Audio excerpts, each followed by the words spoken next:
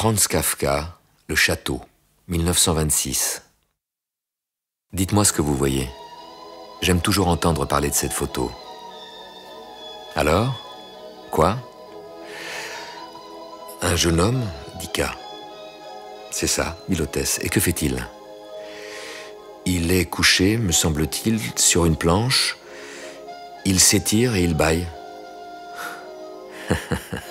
L'hôtelière se mit à rire. Dit-elle. Euh, voilà pourtant la planche, il est couché. Il est couché dessus, dit K, en s'obstinant.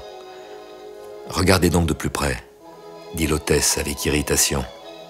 Est-il vraiment couché? Non, dit alors K. Ah non, non, il n'est pas couché, il plane. Maintenant, je vois, ce n'est pas une planche, mais une corde probablement.